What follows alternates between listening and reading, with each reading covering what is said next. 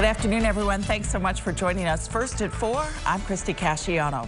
Starting tomorrow, masks will officially be optional for most Central New York students and educators, but a lot of parents have been reaching out to us. You're wondering if masks are still needed at your child's daycare. One of your stories, our Adrian Smith, has been reaching out to state and local leaders.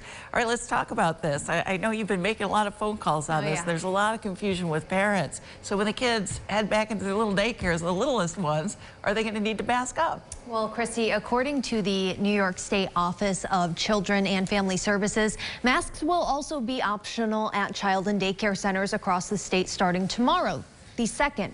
In her briefing Sunday, Governor Kathy Hochul announced the mask mandate being lifted for schools, but only briefly mentioned the rule also applies to daycares, which is partially why this new guidance has been so confusing for some children, parents, and even the daycare providers. In a statement sent to News Channel 9, the Office of Children and Family Services is clarifying this new guidance, saying in part, parents should feel free to have their children continue to wear masks if they desire, and we will work with our child care providers to keep our programs healthy and safe.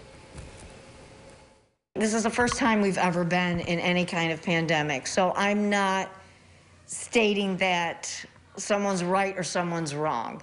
We're all trying to navigate the best that we can. The confusing part is you hear one thing one day, another thing the next day, and you're going back and forth. And that's what's really more frustrating.